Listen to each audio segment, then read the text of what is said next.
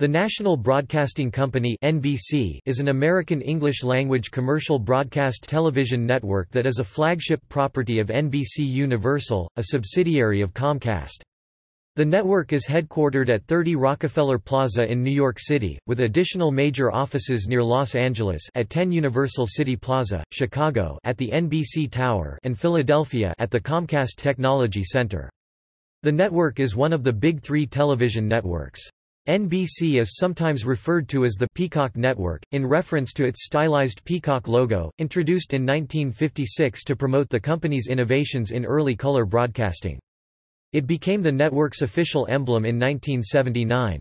NBC has 13 owned and operated stations and nearly 200 affiliates throughout the United States and its territories, some of which are also available in Canada via pay television providers or in border areas over the air. NBC also maintains brand licensing agreements for international channels in South Korea and Germany.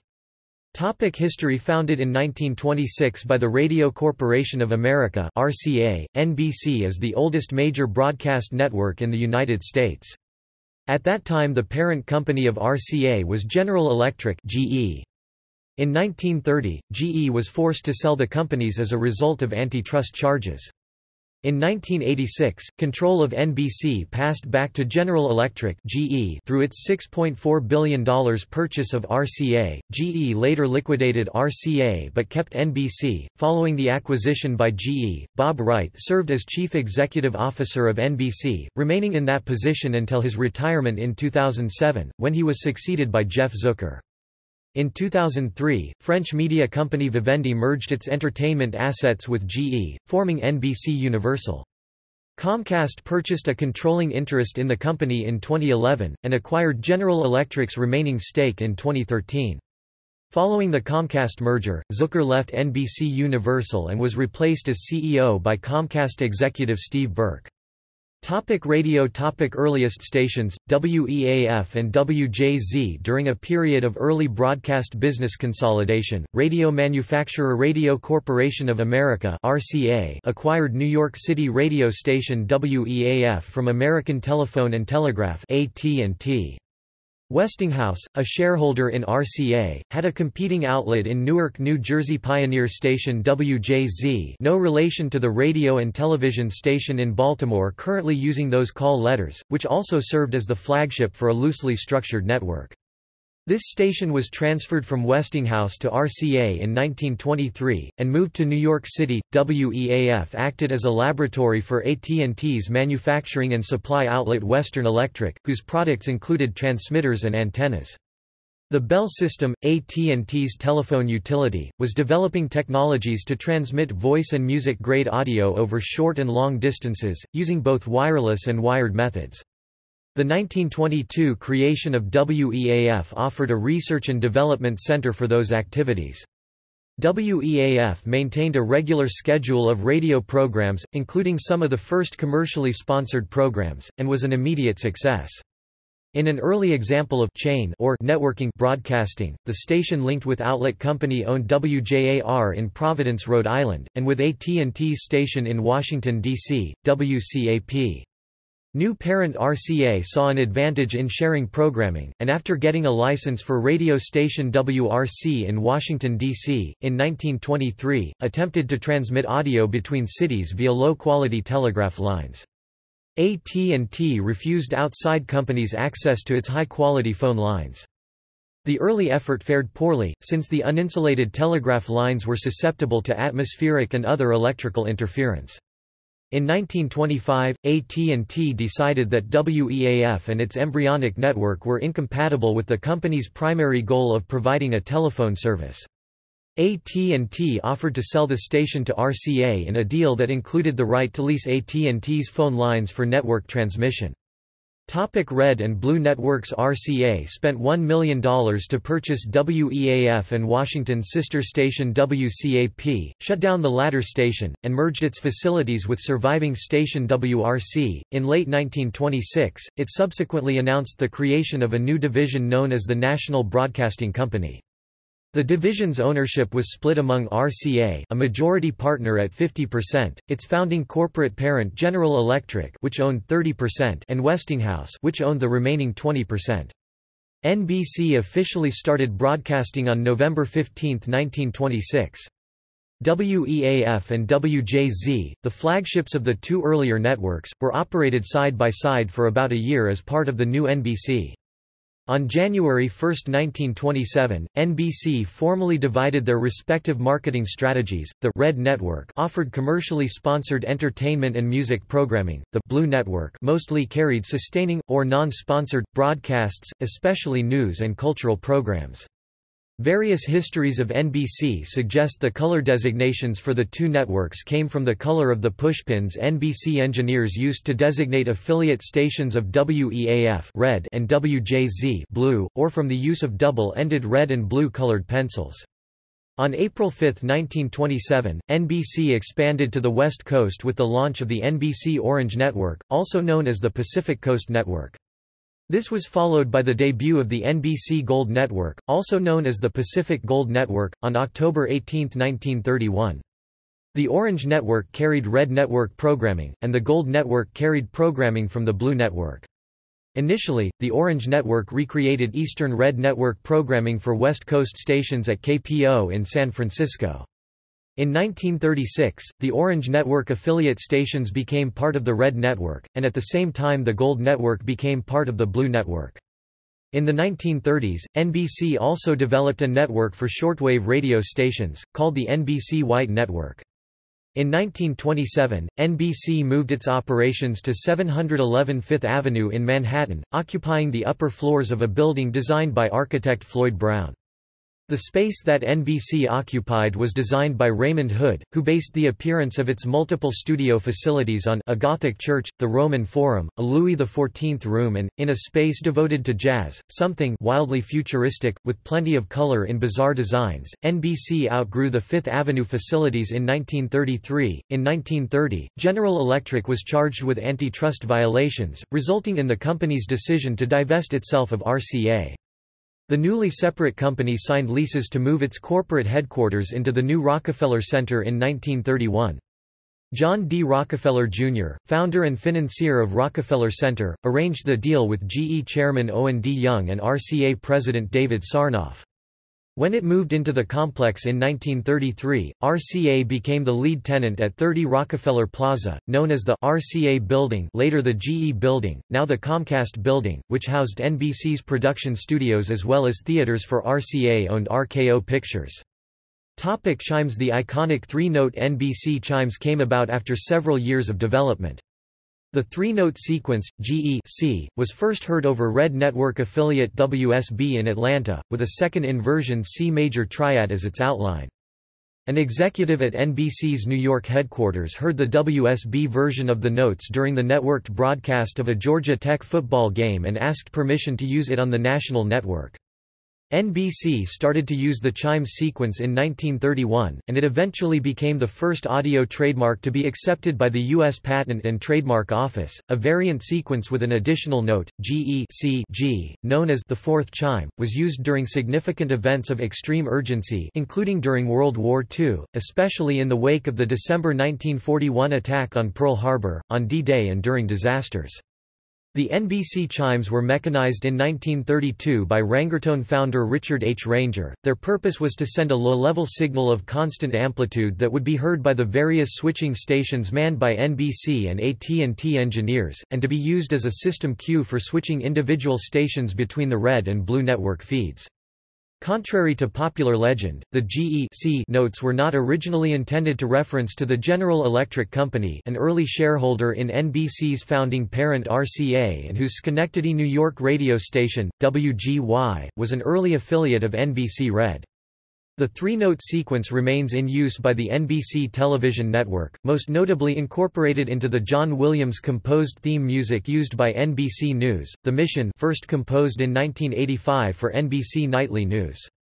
Topic New beginnings The Blue Network becomes ABC in 1934. The Mutual Broadcasting System filed a complaint to the Federal Communications Commission (FCC) following the government agency's creation, claiming it ran into difficulties trying to establish new radio stations in a market largely controlled by NBC and the Columbia Broadcasting System (CBS). In 1938, the FCC began a series of investigations into the monopolistic effects of network broadcasting.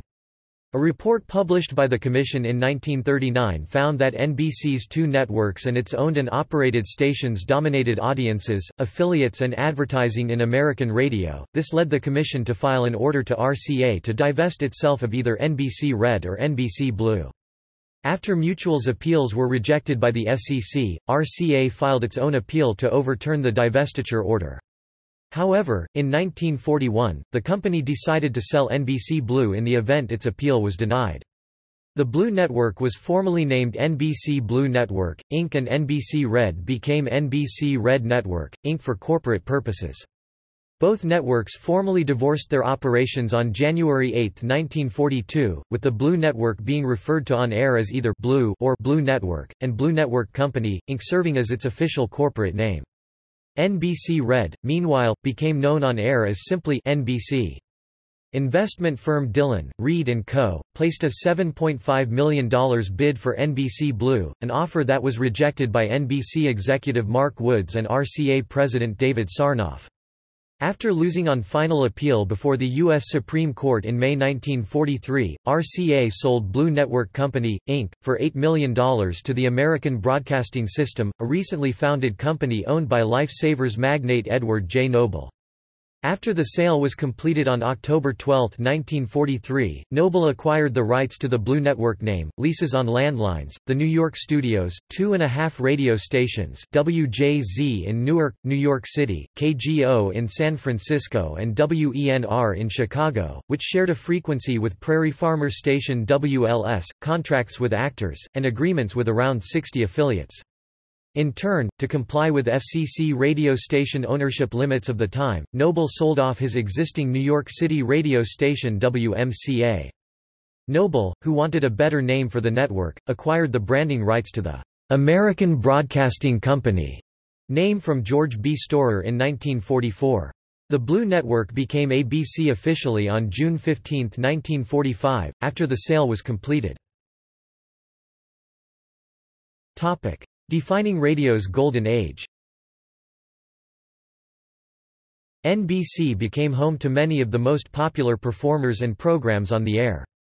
Bing Crosby, Al Jolson, Jack Benny, Edgar Bergen, Bob Hope, Fred Allen, and Burns and Allen called NBC home, as did Arturo Toscanini's NBC Symphony Orchestra, which the network helped him create. Other programs featured on the network included Vic and Sade, Fibber McGee and Molly, The Great Gildersleeve arguably broadcasting's first spin-off program, from Fibber McGee, One Man's Family, Ma Perkins and Death Valley Days. NBC stations were often the most powerful, and some occupied unique clear channel national frequencies, reaching hundreds or thousands of miles at night. In the late 1940s, rival CBS gained ground by allowing radio stars to use their own production companies to produce programs, which became a profitable move for much of its talent.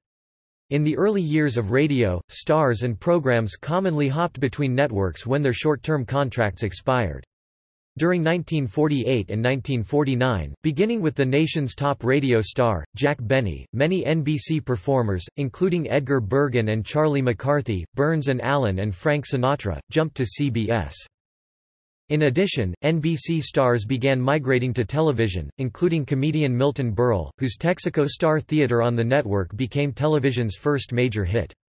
Conductor Arturo Toscanini conducted the NBC Symphony Orchestra in ten television concerts on NBC between 1948 and 1952.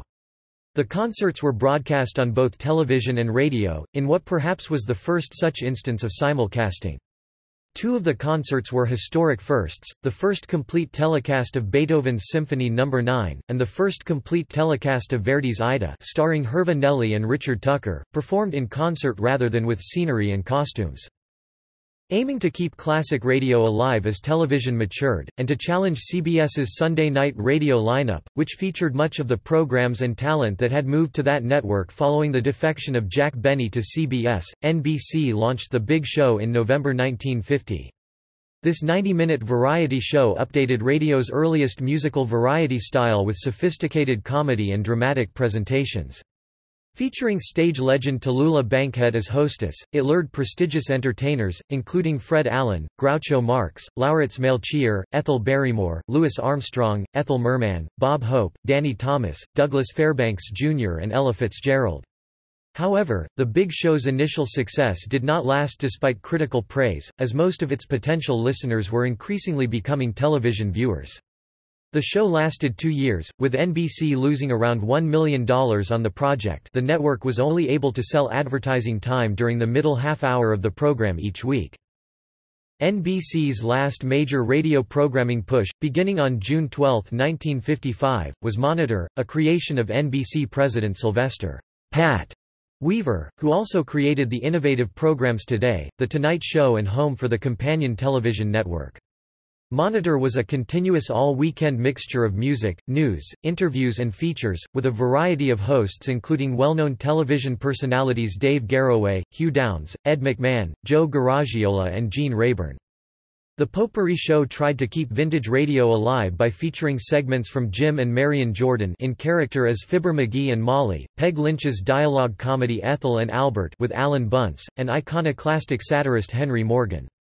Monitor was a success for a number of years, but after the mid-1960s, local stations, especially those in larger markets, were reluctant to break from their established formats to run non-conforming network programming.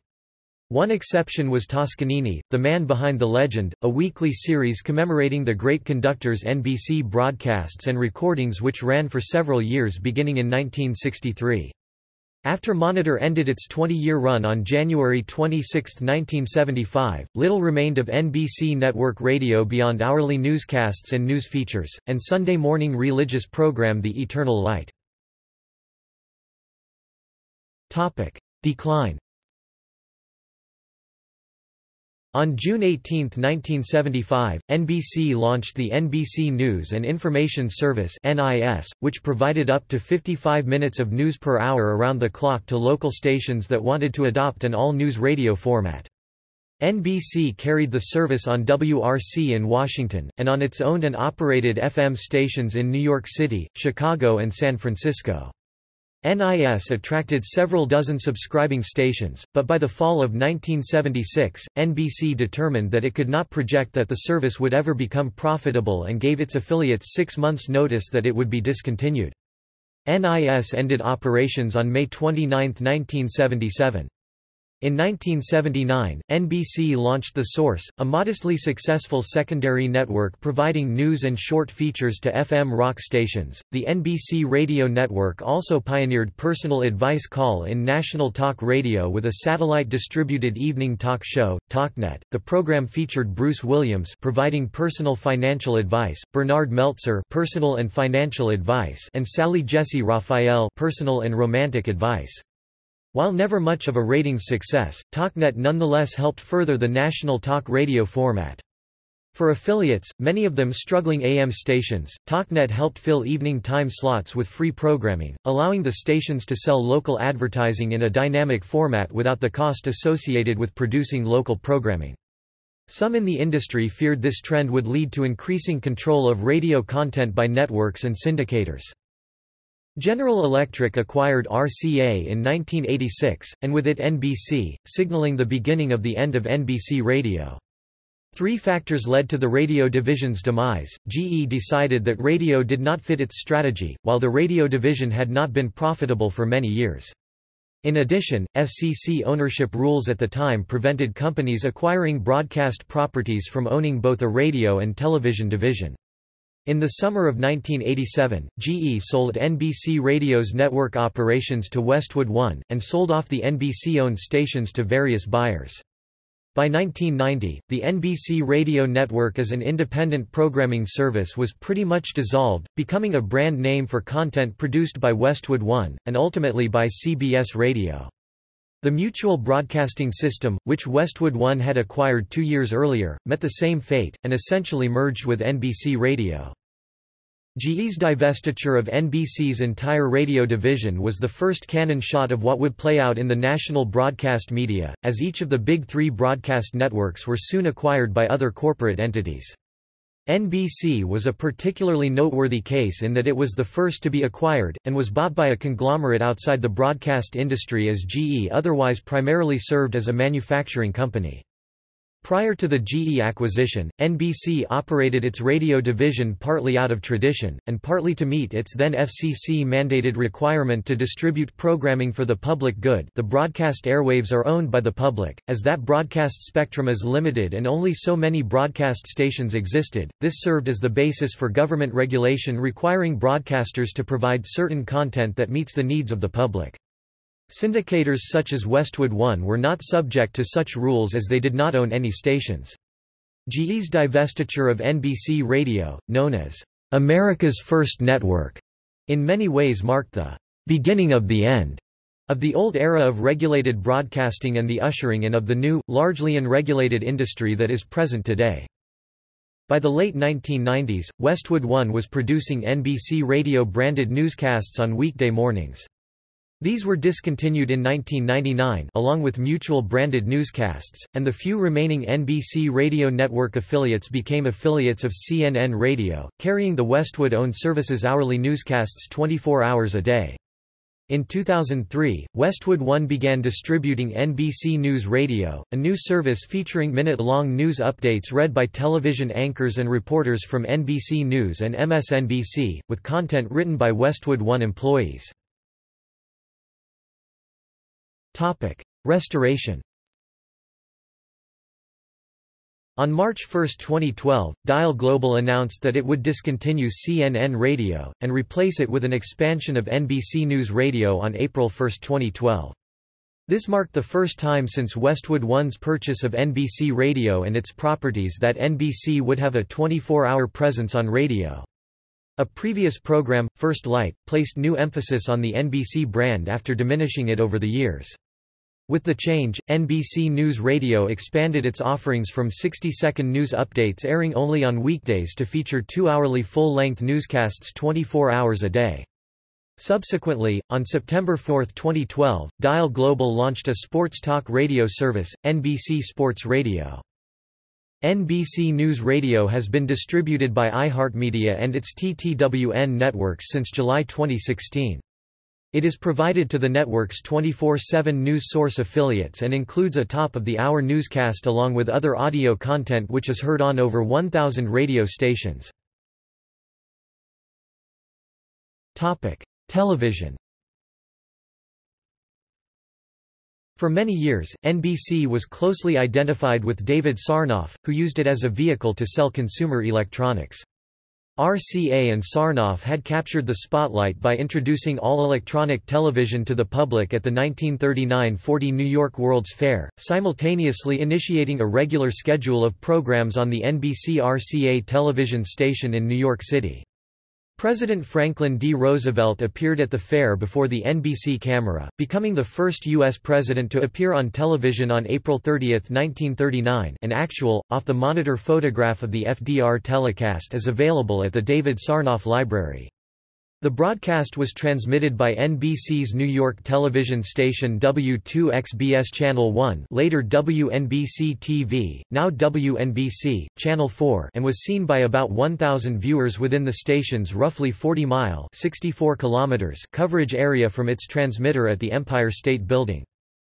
The following day May 1, four models of RCA television sets went on sale to the general public in various department stores around New York City, which were promoted in a series of splashy newspaper ads. Dumont Laboratories and others had actually offered the first home sets in 1938 in anticipation of NBC's announced April 1939 television launch. Later in 1939, NBC took its cameras to professional football and baseball games in the New York City area, establishing many firsts in television broadcasting. Reportedly, the first NBC television network Program was broadcast on January 12, 1940, when a play titled Meet the Wife was originated at the W2XBS studios at Rockefeller Center and rebroadcast by W2XB, W2XAF now WRGB in Schenectady, which received the New York station directly off air from a tower atop a mountain and relayed the live signal to the Capital District. About this time, occasional special events were also broadcast in Philadelphia over W3XE, later called WPTZ, now known as KYW-TV as well as Schenectady. The most ambitious NBC television network program of the pre-war era was the telecast of the Republican National Convention held in Philadelphia in the summer of 1940, which was fed live to the New York City and Schenectady stations. However, despite major promotion by RCA, television sales in New York during 1939 and 1940 were disappointing, primarily due to the high cost of the sets, and the lack of compelling regularly scheduled programming. Most sets were sold to bars, hotels and other public places, where the general public viewed special sports and news events. One special event was Franklin D. Roosevelt's second and final appearance on live television, when his speech at Madison Square Garden on October 28, 1940, was telecast over W2XBS to receivers in the New York City area. Television's experimental period ended, as the FCC allowed full-fledged commercial television broadcasts to begin on July 1, 1941. NBC station W2XBS in New York City received the first commercial license, adopting the call letters WNBT. The first official, paid television advertisement broadcast by any U.S. station was for watch manufacturer Bulova, which aired that day, just before the start of a Brooklyn Dodgers baseball telecast on WNBT. The ad consisted of test pattern, featuring the newly assigned WNBT call letters, which was modified to resemble a clock, complete with functioning hands, with the Bulova logo featuring the phrase, Bulova Watch Time. In the lower right-hand quadrant of the test pattern a photograph of the NBC camera setting up the test pattern advertisement for that ad can be seen at this page. Among the programs that aired during the first week of WNBT's new, commercial schedule was the Sunoco News, a simulcast of the Sun Oil-sponsored NBC radio program anchored by Lowell Thomas, amateur boxing at Jamaica Arena, the Eastern Clay Courts Tennis Championships, programming from the USO, the spelling bee-type game show Words on the Wing, a few feature films, and a one-time-only, test broadcast of the game show Truth or Consequences, sponsored by Lever Brothers, prior to the first commercial television broadcasts and paid advertisements on WNBT. Non paid television advertising existed on an experimental basis dating back to 1930. NBC's earliest non-paid television commercials may have been those seen during the first Major League Baseball game ever telecast, between the Brooklyn Dodgers and Cincinnati Reds, on August 26, 1939 over W2XBS. In order to secure the rights to televise the game, NBC allowed each of the Dodgers' regular radio sponsors at the time to have one commercial during the telecast. The ads were conducted by Dodgers announcer Red Barber. For Ivory Soap, he held up a bar of the product, for Mobilgas he put on a filling station attendant's cap while giving his spiel, and for Wheaties he poured a bowl of the product, added milk and bananas, and took a big spoonful. Limited, commercial programming continued until the U.S. entered World War II. Telecasts were curtailed in the early years of the war, then expanded as NBC began to prepare for full-time service upon the end of the war. Even before the war concluded, a few programs were sent from New York City to affiliated stations in Philadelphia WPTZ and Albany, Schenectady WRGB on a regular weekly schedule beginning in 1944, the first of which is generally considered to be the pioneering special interest, documentary show The Voice of Firestone Televues, a television offshoot of The Voice of Firestone, a mainstay on NBC Radio since 1928, which was transmitted from New York City to Philadelphia and Schenectady on a regular, weekly basis beginning on April 10, 1944. The series is considered to be the NBC television network's first regularly scheduled program. On VE Day, May 8, 1945, WNBT broadcast several hours of news coverage, and remotes from around New York City. This event was promoted in advance by NBC with a direct mail card sent to television set owners in the New York area. At one point, a WNBT camera placed atop the marquee of the Hotel Astor panned the crowd below celebrating the end of the war in Europe. The vivid coverage was a prelude to television's rapid growth after the war ended. The NBC television network grew from its initial post-war lineup of four stations. The 1947 World Series featured two New York City area teams the Yankees and the Dodgers, and television sales boomed locally, since the games were being telecast in the New York market. Additional stations along the East Coast and in the Midwest were connected by coaxial cable through the late 1940s, and in September 1951 the first transcontinental telecasts took place. The post-war 1940s and early 1950s brought success for NBC in the new medium. Television's first major star, Milton Berle, whose Texaco Star Theatre began in June 1948, drew the first large audiences to NBC television. Under its innovative president, Sylvester Pat Weaver, the network launched Today and The Tonight Show, which would bookend the broadcast day for over 50 years, and which still lead their competitors. Weaver, who also launched the genre of periodic 90-minute network, Spectaculars, Network-produced motion pictures and the live 90-minute Sunday afternoon series Wide Wide World, left the network in 1955 in a dispute with its chairman David Sarnoff, who subsequently named his son Robert Sarnoff as president. In 1951, NBC commissioned Italian-American composer Gian Carlo Menotti to compose the first opera ever written for television. Menotti came up with Amahl and the Night Visitors, a 45-minute work for which he wrote both music and libretto, about a disabled shepherd boy who meets the three wise men and is miraculously cured when he offers his crutch to the newborn Christ child. It was such a stunning success that it was repeated every year on NBC from 1951 to 1966, when a dispute between Menotti and NBC ended the broadcasts. However, by 1978, Menotti and NBC had patched things up, and an all-new production of the opera, filmed partly on location in the Middle East, was telecast that year. Color television While rival CBS broadcast the first color television programs in the United States, their system was incompatible with the millions of black and white sets in use at the time. After a series of limited, incompatible color broadcasts mostly scheduled during the day, CBS abandoned the system and broadcasts. This opened the door for the RCA-compatible color system to be adopted as the U.S. standard.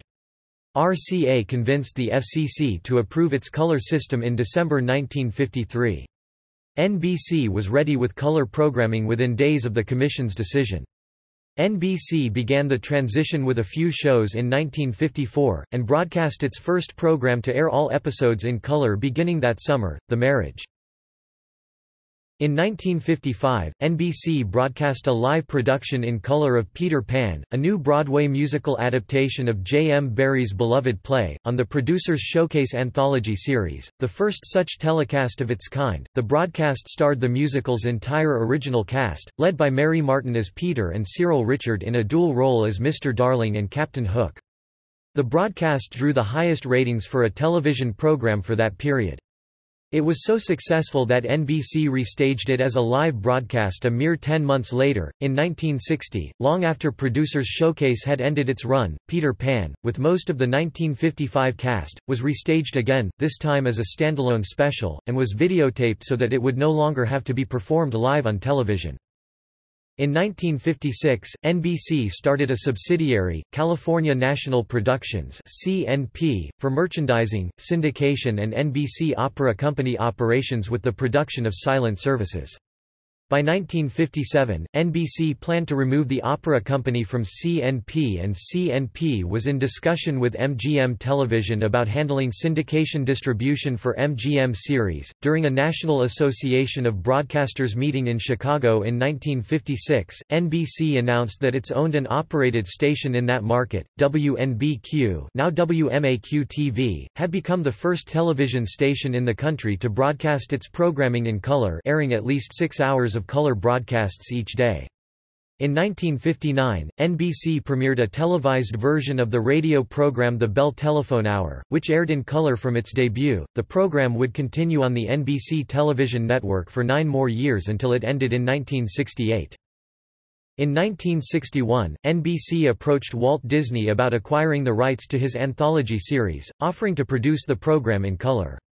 Disney was in the midst of negotiating a new contract to keep the program then known as Walt Disney Presents on ABC, however ABC president Leonard Goldenson said that it could not counter the offer, as the network did not have the technical and financial resources to carry the program in color. Disney subsequently struck a deal with NBC, which began airing the anthology series in the format in September 1961 as Walt Disney's Wonderful World of Color. As many of the Disney programs that aired in black and white on ABC were actually filmed in color, they could easily be re-aired in the format on the NBC broadcasts. In January 1962, NBC's telecast of the Rose Bowl became the first college football game ever to be telecast in color. By 1963, much of NBC's prime-time schedule was presented in color, although some popular series such as The Man from U.N.C.L.E., which premiered in late 1964 were broadcast in black and white for their entire first season. In the fall of 1965, NBC was broadcasting 95% of its prime-time schedule in color with the exceptions of I Dream of Jeannie and Convoy, and began billing itself as the full-color network. Without television sets to sell, rival networks followed more slowly, finally committing to an all-color lineup in prime time in the 1966–67 season. Days of Our Lives became the first soap opera to premiere in color, when it debuted in November 1965. NBC contracted with Universal Studios in 1964 to produce the first feature-length film produced for television, See How They Run, which first aired on October 17, 1964. Its second television movie, The Hanged Man, aired six weeks later on November 28. Even while the presentations performed well in the ratings, NBC did not broadcast another made-for-TV film for two years. In 1967, NBC reached a deal with Metro-Goldwyn-Mayer (MGM) to acquire the broadcast rights to the classic 1939 film The Wizard of Oz. CBS, which had televised the film annually since 1956, refused to meet MGM's increased fee to renew its television rights. Oz had been, up to then, one of the few programs that CBS had telecast in color. However, by 1967, color broadcasts had become standard on television, and the film simply became another title in the list of specials that NBC telecast in the format. The film's showings on NBC were distinctive as it televised The Wizard of Oz without a hosted introduction, as CBS had long done. It was also slightly edited for time in order to make room to air more commercials. Despite the cuts, however, it continued to score excellent television ratings in those pre-VCR days, as audiences were generally unable to see the film any other way at that time. NBC aired The Wizard of Oz each year from 1968 to 1976, when CBS, realizing that they may have committed a colossal blunder by letting a huge ratings success like Oz go to another network, agreed to pay MGM more money to re-acquire the rights to show the film. The late 1960s brought big changes in the programming practices of the major television networks. As baby boomers reached adulthood, NBC, CBS and ABC began to realize that much of their existing programming had not only been running for years, but had audiences that skewed older. In order to attract the large youth population that was highly attractive to advertisers, the networks moved to clean house of a number of veteran shows. In NBC's case, this included programs like the Bell Telephone Hour and Sing Along with Mitch, which both had an average viewer age of 50. During this period, the networks came to define adults between the ages of 18 and 49 as their main target audience, although depending on the show, this could be subdivided into other age demos, 35 to 45, 18 to 25 or 18 to 35. Regardless of the exact target demographic, the general idea was to appeal to viewers who were not close to retirement age and to modernize television programming, which the networks felt overall was stuck in a 1950s mentality, to closely resemble contemporary American society. Topic 1970s Doldrums The 1970s started strongly for NBC thanks to hits like Adam 12, Rowan and Martin's Laugh-In, Ironside, The Dean Martin Show and The Flip Wilson Show. However, despite the success of such new shows as the NBC Mystery Movie, Sanford and Son, Chico and the Man, Little House on the Prairie, The Midnight Special, The Rockford Files, Police Woman and Emergency, as well as continued success from veterans like The Tonight Show starring Johnny Carson and The Wonderful World of Disney, the network entered a slump in the middle of the decade. Disney, in particular, saw its ratings nosedive once CBS put 60 Minutes up against the program in the Sunday 7 p.m. time slot in the 1975–76 season. In 1974, under new president Herb Schlosser, the network tried to attract younger viewers with a series of costly movies, miniseries and specials. This failed to attract the desirable 18 to 34 demographic, and simultaneously alienated older viewers.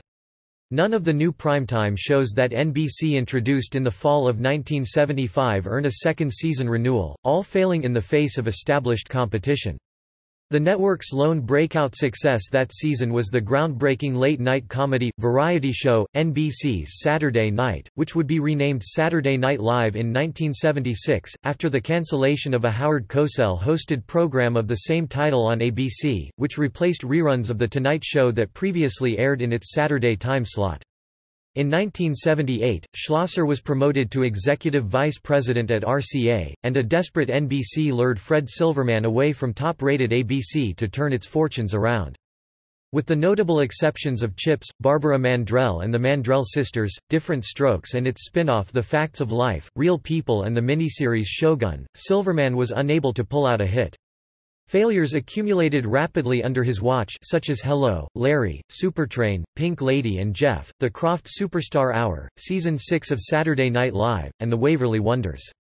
Many of them were beaten in the ratings by shows that Silverman had greenlit during his previous tenures at CBS and ABC. During this time, several longtime affiliates also defected from NBC in markets such as Atlanta WSB-TV, Baltimore WBAL-TV, Baton Rouge WBRZ-TV, Charlotte WSOC-TV, Dayton WDTN, Indianapolis WRTV, Jacksonville WTLV, Minneapolis St. Paul KSTP-TV, San Diego KGTV, Schenectady WRGB, and Wheeling WTRF-TV. Most were wooed away by ABC, which had lifted out of last place to become the number one network during the late 1970s and early 1980s, while WBAL-TV, WRGB and WTRF-TV went to CBS. WBAL-TV was originally to go to ABC, but the station decided against it because ABC's evening newscasts had attracted ratings too dismal for them to consider doing so. In the case of WSB-TV and WSOC-TV, which have both since become ABC affiliates, both stations were and remain under common ownership with Cox Enterprises, with its other NBC affiliate at the time, WIIC-TV in Pittsburgh which would become WPXI in 1981 and also remains owned by Cox, only staying with the network because WIIC-TV itself was a distant third to CBS-affiliated powerhouse KDKA-TV and ABC affiliate W WTAE-TV KDKA-TV, owned at the time by Group W and now owned by CBS, infamously passed up affiliating with NBC after Westinghouse bought the station from Dumont in 1954, leading to an acrimonious relationship between NBC and Westinghouse that lasted for years afterward. In markets such as San Diego, Charlotte and Jacksonville, NBC had little choice but to affiliate with a UHF station, with the San Diego station KNSD eventually becoming an NBC O&O. In Wheeling, NBC ultimately upgraded its affiliation when it partnered with WTOV-TV in nearby Steubenville, Ohio, overtaking former affiliate WTRF-TV in the ratings by a large margin. Other smaller television markets like Yuma, Arizona waited many years to get another local NBC affiliate first with KIVA, and later KYMA. The stations in Baltimore, Dayton and Jacksonville, however, have since rejoined the network. After President Jimmy Carter pulled the U.S. team out of the 1980 Summer Olympics, NBC canceled a planned 150 hours of coverage which had cost $87 million for the broadcast rights, placing the network's future in doubt.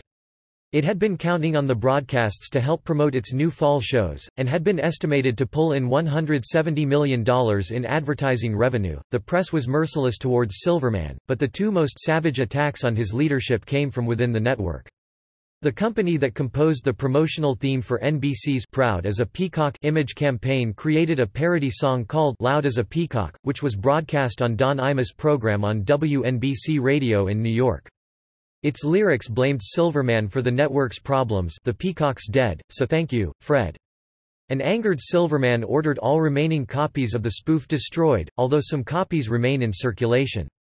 Saturday Night Live writer and occasional performer Al Franken satirized Silverman in a sketch on the program titled A Limo for a Lame-O, where he presented a chart with the top 10 rated programs for that season and commented that there was not one N on the list.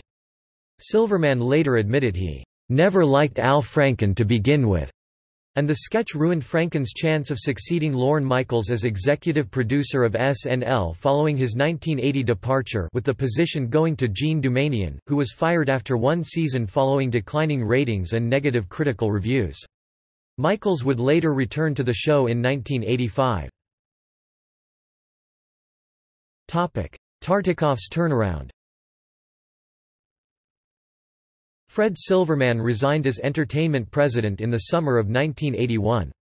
Grant Tinker, a highly regarded producer who co-founded MTM Enterprises with then-wife Mary Tyler Moore, became president of the network and Brandon Tartikoff became president of the entertainment division. Tartikoff inherited a schedule full of aging dramas and very few sitcoms, but showed patience with promising programs. One such show was the critically acclaimed Hill Street Blues, which suffered from poor ratings during its first season. Rather than cancelling the show, he moved the Emmy Award-winning police drama from Steven Bochco to Thursdays, where its ratings improved dramatically. He used the same tactics with Saint Elsewhere and Cheers. Shows like these were able to get the same ad revenue as their higher-rated competition because of their desirable demographics, upscale adults ages 18 to 34. While the network claimed moderate successes with Gimme a Break, Silver Spoons, Knight Rider and Remington Steele, its biggest hit during this period was The A-Team, which, at 10th place, was the network's only program to rank in the Nielsen Top 20 for the 1982–83 season, and ascended to fourth place the following year. These shows helped NBC through the disastrous 1983–84 season, which saw none of its nine new fall shows gaining a second year. In February 1982, NBC cancelled Tom Snyder's The Tomorrow Show and gave the 12:35 a.m. time slot to 34-year-old comedian David Letterman. Though Letterman was unsuccessful with his weekday morning talk show effort for the network which debuted on June 23, 1980, Late Night with David Letterman proved much more successful, lasting for 11 years and serving as the launching pad for another late-night talk franchise that continues to this day. In 1984, the huge success of The Cosby Show led to a renewed interest in sitcoms, while Family Ties and Cheers, both of which premiered in 1982 to mediocre ratings the latter ranking at near dead last among all network shows during the 1982–83 season, saw their viewership increase from having Cosby as a lead-in. The network rose from third place to second in the ratings during the 1984–85 season and reached first place in 1985–86, with hits The Golden Girls, Miami Vice, 227 Night Court, Highway to Heaven and Hunter. The network's upswing continued late into the decade with Alf, Amen, Matlock, L.A. Law, The Hogan Family, A Different World, Empty Nest, Unsolved Mysteries and In the Heat of the Night. In 1986, Bob Wright was appointed as chairman of NBC. In the fall of 1987, NBC conceived a syndication package for its owned and operated stations, under the brand, Prime Time Begins at 7.30, consisting of five sitcoms that each aired once a week, and were produced by various production companies contracted by NBC. The series included Marblehead Manor from Paramount Television, airing Mondays, centering on a mansion owner and the people who live with him. She's the Sheriff from Lorimar Telepictures and airing Tuesdays, a comeback vehicle for Suzanne Somers which cast her as a widowed county sheriff, a series adapted from the George S. Kaufman play You Can't Take It With You airing Wednesdays, starring Harry Morgan, Out of This World from MCA Television and airing Thursdays, which starred Maureen Flannigan as a teenager born to an alien father and human mother that develops supernatural abilities on her 15th birthday, and a revival of the short-lived 1983 NBC series We Got It Made produced by Fred Silverman for MGM Television and closing out the week on Fridays, as part of an ongoing trend at the time in which former network series were revived in first-run syndication. The package was aimed at attracting viewers to NBC stations in the half hour preceding prime time, 8 p.m. in the Eastern and Pacific time zone, 7 p.m. elsewhere, and was conceived as a result of the FCC's loosening of the prime time access rule. Legislation passed in 1971 that required networks to turn over the 7:30 p.m. Eastern time slot to local stations to program local or syndicated content, and the relaxation of the financial interest and syndication rules, which had prevented networks networks from producing content from their own syndication units to fill the void. The shows that were part of the package were regularly outrated in many markets by such syndicated game shows as Wheel of Fortune, Jeopardy! and Hollywood Squares. Marblehead Manor, We Got It Made and You Can't Take It With You were cancelled at the end of the 1987–88 season, with She's the Sheriff lasting one more season in weekend syndication before its cancellation. Out of This World ran for three additional seasons, airing mainly on weekends, and was the most successful of the five series. NBC aired the first of eight consecutive Summer Olympic Games broadcasts when it covered the 1988 Games in Seoul, South Korea. The 1988–89 season saw NBC have an astonishing 18 series in Nielsen's year-end top 30 most watched network programs. It also ranked at first place in the weekly ratings for more than 12 months, an unprecedented achievement that has not been duplicated since. The network continued its hot streak into the early 1990s with new hits such as The Fresh Prince of Bel-Air, Blossom and Law and Order. Topic must-see TV in 1991, Tartikoff left his role as NBC's president of entertainment to take an executive position at Paramount Pictures. In the course of a decade, he had taken control of a network with no shows in the Nielsen Top 10 and left it with five. Tartikoff was succeeded by Warren Littlefield, whose first years as entertainment president proved shaky as a result of most of the Tartikoff-era hits ending their runs. Some blamed Littlefield for losing David Letterman to CBS after naming Jay Leno as the successor to Johnny Carson on The Tonight Show, following the latter's retirement as host in May 1992. Things turned around with the launches of new hit series such as Mad About You, Wings, Sisters, Frasier, Friends, Ur and Will and Grace. One of Tartikoff's late acquisitions, Seinfeld initially struggled from its debut in 1989 as a summer series, but grew to become one of NBC's top-rated shows after it was moved to Thursdays in the time slot following Cheers. Seinfeld ended its run in 1998, becoming the latest overall television program in the U.S. to end its final season as the leader in the Nielsen ratings for a single television season. Consequently, Friends emerged as NBC's biggest television show after the 1998 Seinfeld final broadcast. It dominated the ratings, never leaving the top five watched shows of the year from its second through tenth seasons and landing on the number one spot during season 8 in the 2001–02 season as the latest sitcom in the U.S. to lead the annual Nielsen primetime television ratings. Cheers spin-off Frasier became a critical and commercial success, usually landing in the Nielsen Top 20 although its ratings were overshadowed to a minor extent by Friends, and went on to win numerous Emmy Awards eventually setting a record for a sitcom that lasted until it was overtaken by Modern Family in 2014. In 1994, the network began branding its strong Thursday night lineup, mainly in reference to the comedies airing in the first two hours, under the must-see TV tagline which during the mid and late 1990s, was also applied to NBC's comedy blocks on other nights, particularly on Tuesdays.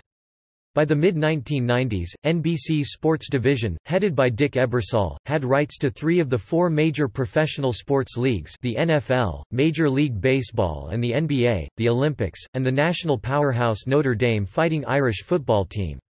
The NBA on NBC enjoyed great success in the 1990s due in large part to the Chicago Bulls' run of six championships at the hands of superstar Michael Jordan. However, NBC Sports would suffer a major blow in 1998, when it lost the rights to the American Football Conference AFC to CBS, which itself had lost rights to the National Football Conference NFC to Fox four years earlier. The deal stripped NBC of National Football League NFL game telecasts after 59 years and AFC games after 36 years dating back to its existence as the American Football League prior to its 1970 merger with the NFL. Littlefield left NBC in 1998 to pursue a career as a television and film producer, with the network subsequently going through three entertainment presidents in three years. Littlefield was replaced as president of NBC Entertainment by Scott Sassa, who oversaw the development of such shows as The West Wing, Law and Order, Special Victims Unit and Fear Factor. After Sassa was reassigned to NBC's West Coast division, Garth Ancier was named as his replacement in 1999. Jeff Zucker then succeeded Ancier as president of NBC Entertainment in 2000. Topic new century, new problems At the start of the 2000s, NBC's fortunes started to take a rapid turn for the worse. That year, NBC's long-standing ratings lead ended as CBS which had languished in the ratings after losing the NFL overtook it for first place. In 2001, CBS chose to move its hit reality series Survivor to serve as the anchor of its Thursday night lineup. Its success was taken as a suggestion that NBC's nearly two decades of dominance on Thursday nights could be broken. Even so, the strength of Friends, Will and Grace, Er and Just Shoot Me, the latter of which saw its highest viewership following its move to that night in the 2001 season, helped the network continue to lead the Thursday ratings. Overall, NBC retook its first place lead that year, and spent much of the next four years with the exception of the 2002–03 season, when it was briefly jumped again by CBS for first in the top spot. On the other hand, NBC was stripped of the broadcast rights to two other major sports leagues. It lost Major League Baseball to Fox after the 2000 season. By that point, NBC only had alternating rights to the All-Star Game, League Championship Series and World Series, and later, the NBA to ABC after the 2001-02 season. After losing the NBA rights, NBC's major sports offerings were reduced to the Olympics which in 2002, expanded to include rights to the Winter Olympics, as part of a contract that gave it the U.S. television rights to both the Summer and Winter Olympics through 2012, PGA Tour golf events and a floundering Notre Dame football program however, it would eventually acquire the rights to the National Hockey League in May 2004. In October 2001, NBC acquired Spanish-language network Telemundo from Liberty Media and Sony Pictures Entertainment for $2.7 billion, beating out other bidders including CBS, Viacom. The deal was finalized in 2002. In 2003, French entertainment conglomerate Vivendi Universal, renamed Vivendi in 2006, sold 80% of its film and television subsidiary Vivendi Universal Entertainment to NBC's parent company General Electric, integrating the company with Vivendi's various film, television and amusement properties including Universal Pictures under the integrated NBC Universal. NBC Universal was then owned 80% by General Electric and 20% by Vivendi. In 2004, Zucker was promoted to the newly created position of president of NBC Universal Television Group. Kevin Reilly became the new president of NBC Entertainment. In 2004, NBC experienced a three on a match scenario. Friends and Frasier ended their runs. Jerry Orbach, who had played one of the most popular characters of its hit Law and Order, died suddenly later that year, and shortly afterward was left with several moderately rated shows and few true hits. In particular, Friends spin-off Joey, despite a relatively strong start, started to falter in the ratings during its second season. The 2004–05 season saw NBC become the first major network to air select dramas in letterbox over its analog broadcast feed. The move was done in the hopes of attracting new viewers, although the network saw only a slight boost. In December 2005, NBC began its first week-long primetime game show event, Deal or No Deal. The series garnered high ratings, and returning as a weekly series in March 2006. Otherwise, the 2005–06 season was one of the worst for NBC in three decades, with only one fall series, the sitcom My Name is Earl, surviving for a second season. The sole remaining anchor of the must-see TV lineup, Will and Grace also saw its ratings decline. That season, NBC's ratings freefalled to fourth place, behind a resurgent ABC, Fox which would eventually become the most watched U.S. broadcast network in the 2007–08 season and top-rated CBS which led for much of the remainder of the decade. During this time, all of the networks faced audience erosion from increased competition by cable television, home video, video games and the Internet, with NBC being the hardest hit. The 2006–07 season was a mixed bag for the network, with Deal or No Deal remaining strong and Heroes becoming a surprise hit on Monday nights, while the highly touted Studio 60 on the Sunset Strip from West Wing creator Aaron Sorkin lost a third of its premiere night viewers by week 6 and was eventually cancelled. Two critically acclaimed sitcoms, The Office and 30 Rock, also pulled in modest successes and went on to win the Emmy Award for Outstanding Comedy Series for four consecutive years. The network also regained the rights to the NFL after eight years that season when it acquired the Sunday Night Football package from ESPN as part of a deal that also saw Monday Night Football move to ESPN from ABC. However, despite this, NBC remained at a very distant fourth place, barely ranking ahead of the CW. However, NBC did experience success with its summer schedule, despite its declining ratings during the main broadcast season. America's Got Talent, a reality talent competition series that premiered in 2006, earned a 4.6 rating in the 18–49 demographic, higher than that earned by the 2002 premiere of Fox's American Idol. Got Talent which is the flagship of an international talent competition franchise would continue to garner unusually high ratings throughout its summer run. However, NBC decided not to place it in the spring season, and instead use it as a platform to promote their upcoming fall shows. Originally hosted by Regis Philbin, as of 2018 the series is currently hosted by Tyra Banks, and continues to garner strong ratings throughout its summer seasons. In March 2007, NBC announced that it would begin offering full-length episodes of its prime-time series for streaming on mobile devices, becoming the first U.S. broadcast network to offer on-demand mobile episode content, as the market began shifting away from traditional television. Following the unexpected termination of Kevin Reilly, in 2007, Ben Silverman was appointed president of NBC Entertainment, while Jeff Zucker was promoted to succeed Bob Wright as CEO of NBC. The network failed to generate any new primetime hits during the 2008–09 season despite the rare good fortune of having the rights to both the Super Bowl and the Summer Olympics in which to promote their new programming slate. The sitcom Parks and Recreation survived for a second season after a six-episode first season, while Heroes and Deal or No Deal both collapsed in the ratings and were later cancelled with a revamped Deal or No Deal being revived for one additional season in syndication. In a March 2009 interview, Zucker had stated that he no longer believed it would be possible for NBC to become number one in prime time. Ben Silverman left the network in 2009, with Jeff Gaspin replacing him as president of NBC Entertainment. Topic Comcast era 2011 present On December 3, 2009, Comcast announced they would purchase a 51% controlling stake in NBC Universal from General Electric which would retain the remaining 49% for $6.5 billion in cash and $9.1 billion in raised debt. GE used $5.8 billion from the deal to buy out Vivendi's 20% interest in NBC Universal. NBC's broadcast of the 2010 Winter Olympics in Vancouver, in February of that year, generated a ratings increase of 21% over its broadcast of the 2006 Winter Games in Torino. The network was criticized for repeatedly showing footage of a crash occurring during practice for an Olympic luge competition that killed Georgian luger Nodar Kumaritashvili. NBC News president Steve Capus ordered the footage not to be shown without his permission and Olympics prime-time host Bob Costas promised on air that the video would not be shown again during the Games. NBC Universal was on track to lose $250 million in advertising revenue on that year's Winter Olympics, failing to make up the $820 million it paid for the U.S. television rights.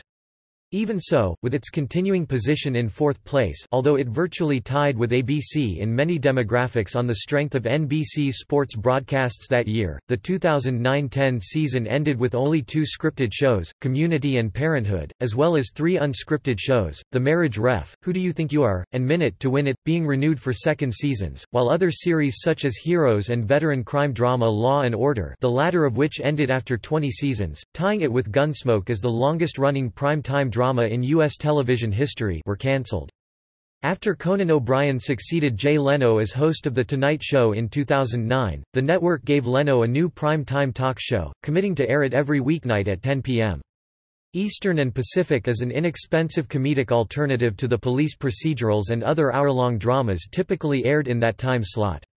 In doing so, NBC became the first major U.S. broadcast network in decades, if ever, to broadcast the same program in a weekdaily prime-time strip. Its executives called the decision, "...a transformational moment in the history of broadcasting," and, in effect, launching five shows. Conversely, industry executives criticized the network for abandoning a history of airing quality dramas in the 10 o'clock hour, and expressed concern that it would hurt NBC by undermining a reputation built on successful scripted series.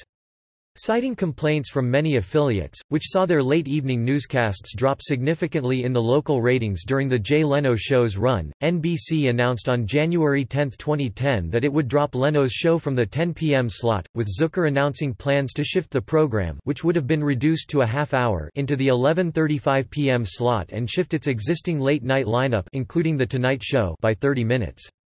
The removal of The Jay Leno Show from its prime time schedule had almost no impact on the network's ratings. The increases NBC experienced in the 2010–11 season compared to 2009–10 were almost entirely attributable to the rising viewership of NBC Sunday Night Football. By 2012, the shows that occupied the 10 p.m. time slot drew lower numbers than The Jay Leno Show did when it aired in that hour two years before. In the spring of 2010, cable provider and multimedia firm Comcast announced it would acquire a majority interest in NBC Universal from General Electric, which would retain a minority stake in the company in the interim. On September 24, 2010, Jeff Zucker announced that he would step down as NBC Universal's CEO once the company's merger with Comcast was completed at the end of the year. After the deal was finalized, Steve Burke was named CEO of NBC Universal and Robert Greenblatt replaced Jeff Gaspin as chairman of NBC Entertainment. In 2011, NBC was finally able to find a breakout hit in the mid-season reality singing competition series The Voice. Otherwise, NBC had another tough season, with every single new fall program getting cancelled by season's end, the third time this has happened to the network after the fall of 1975, and the fall of 1983 and the mid-season legal drama Harry's Law being its only freshman scripted series to be renewed for the 2011-12 season. The network nearly completed its full conversion to an all-HD schedule outside of the Saturday morning time slot leased by the Qubo Consortium, which NBC Universal would rescind its stake in the following year on September 20, 2011, when Last Call with Carson Daly converted to the format with the premiere of its 11th season.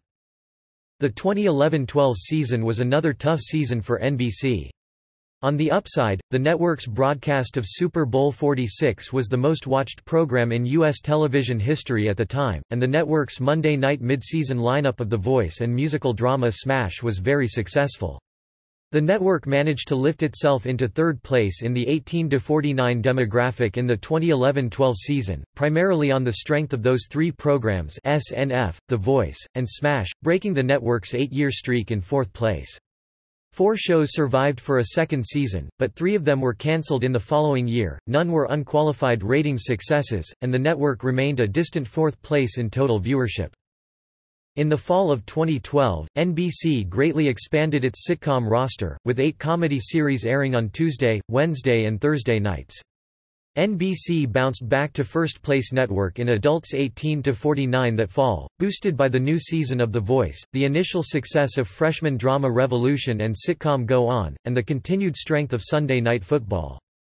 However, withholding the new season of The Voice and benching Revolution until late March, the network's mid-season ratings suffered, falling to fifth place behind Spanish-language network Univision during the February sweeps period.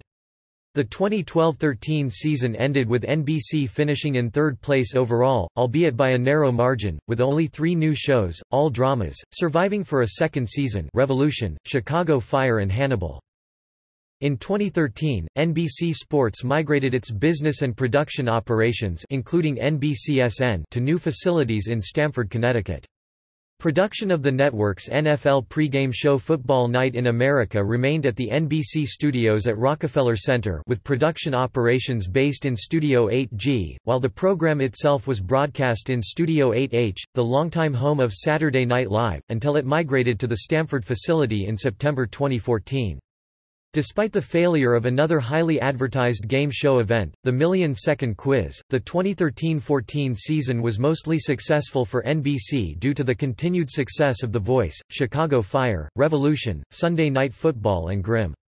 Along with new hits including The Blacklist, Hannibal and Chicago PD and a significant ratings boost from its broadcast of the 2014 Winter Olympics, NBC became the number one network in the coveted 18–49 demographic that season for the first time since 2003–04, when Friends ended.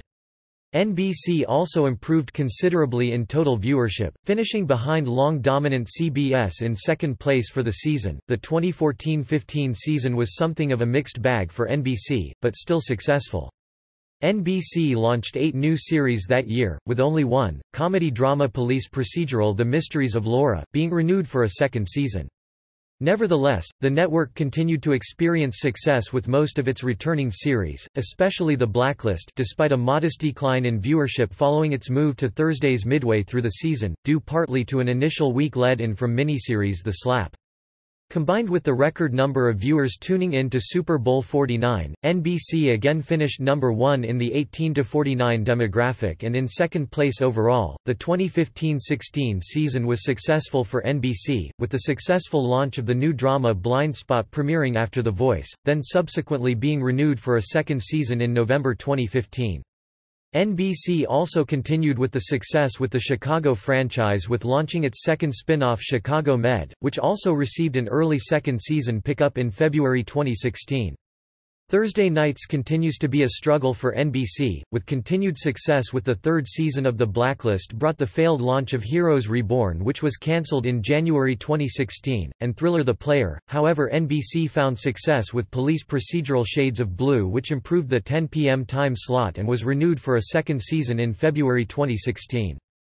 On the comedy side, NBC surprisingly found success in the new workplace sitcom Superstore which premiered as a preview after The Voice in November 2015, and officially launched in January 2016 which brought decent ratings for a new comedy without The Voice as a lead-in and which was subsequently renewed for a second season in February 2016, the 2016-17 season brought more success for NBC with new comedy drama This Is Us which was well received by critics and ratings and was renewed for two additional seasons in January 2017. The Blacklist continued to bring in modest ratings however, it brought the failed launch of its spin-off The Blacklist, Redemption. NBC continued to grow the Chicago franchise with a third spin-off titled Chicago Justice. On the comedy side, workplace sitcom Superstore continued success in its second season. The network launched new fantasy sitcom The Good Place following The Voice and brought in modest ratings and was renewed for a second season in January 2017. Topic: Programming.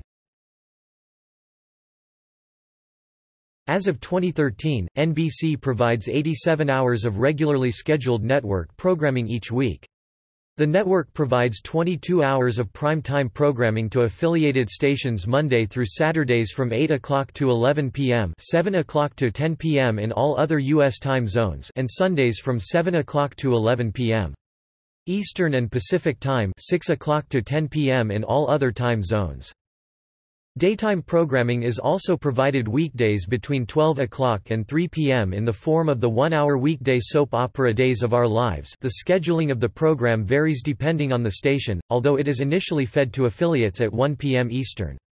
NBC News programming includes the morning news, interview program Today from 7 o'clock to 11 a.m. weekdays, 7 o'clock to 9 o'clock on Saturdays and 7 o'clock to 8 o'clock on Sundays, nightly editions of NBC Nightly News whose weekend editions are occasionally subject to abbreviation or preemption due to sports telecasts overrunning into the program's time slot, the Sunday political talk show Meet the Press, weekday early morning news program Early Today and news magazine Dateline NBC.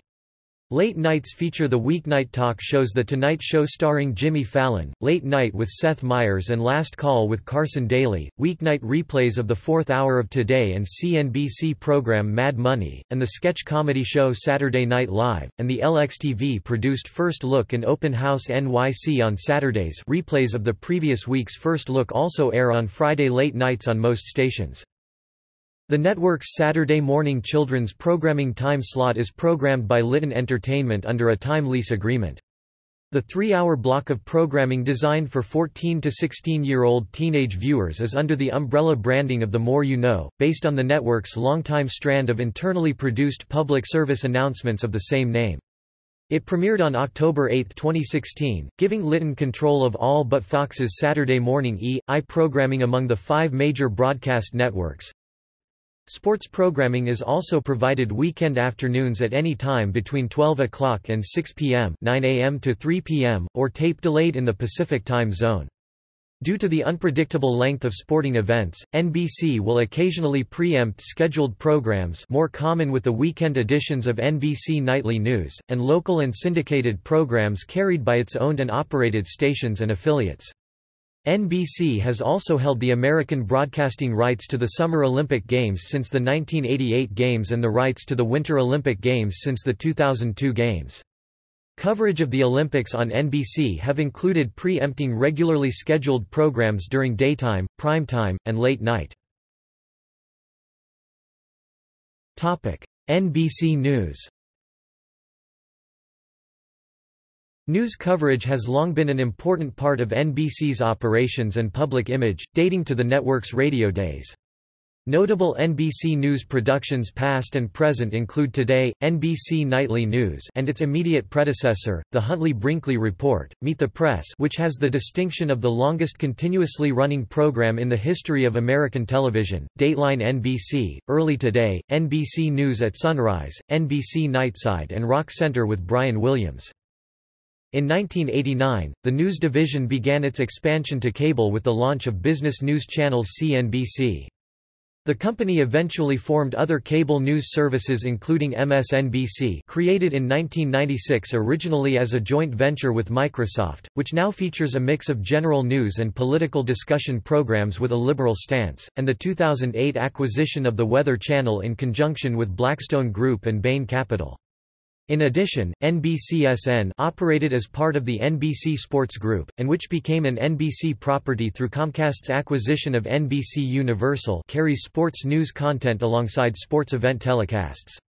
Key anchors from NBC News are also used during NBC Sports coverage of the Olympic Games.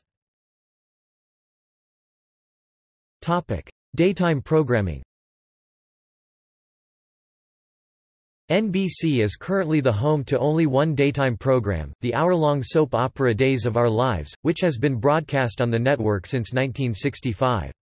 Since NBC turned back an hour of its then two-hour daytime schedule to its affiliates as a result of the September 2007 expansion of Today to four hours, the network currently ties with the CW for the fewest daytime programming hours of any major broadcast television network. Long-running daytime dramas seen on NBC in the past include The Doctors (1963–1982), Another World (1964–1999), Santa Barbara (1984–1993), and Passions (1999–2007), later moving to the 101. NBC also aired the final four and a half years of Search for Tomorrow 1982 after that series was initially cancelled by CBS, although many NBC affiliates did not clear the show during its tenure on the network. NBC has also aired numerous short-lived soap operas, including Generations (1989–1991), Sunset Beach (1997–1999), and the two Another World spin-offs, Somerset (1970–1976) and Texas (1980–1982). Notable daytime game shows that once aired on NBC include The Price is Right (1956–1963), Concentration (1958–1973) and 1987–1991 as Classic Concentration, The Match Game (1962–1969), Let's Make a Deal (1963–1968) and 1990–1991, as well as a short-lived primetime revival in 2002, Jeopardy! (1964–1975) and 1978–1979, The Hollywood Squares (1966–1980), Wheel of Fortune (1975–1989 and 1991), Password Plus, Super Password (1979–1982 and 1984–1989), Sale of the Century (1969–1973 and 1983–1989), and Scrabble (1984–1990 and 1993). The last game show ever to air as part of NBC's daytime schedule was the short-lived Caesars Challenge, which ended in January 1994. Notable past daytime talk shows that have aired on NBC have included Home (1954–1957), The Ernie Kovacs Show (1955–1956), The Merv Griffin Show (1962–1963), Leeza (1994–1999), and Later Today (1999–2000). Topic: Children's programming. Children's programming has played a part in NBC's programming since its initial roots in television. NBC's first major children's series, Howdy Doody, debuted in 1947 and was one of the era's first breakthrough television shows.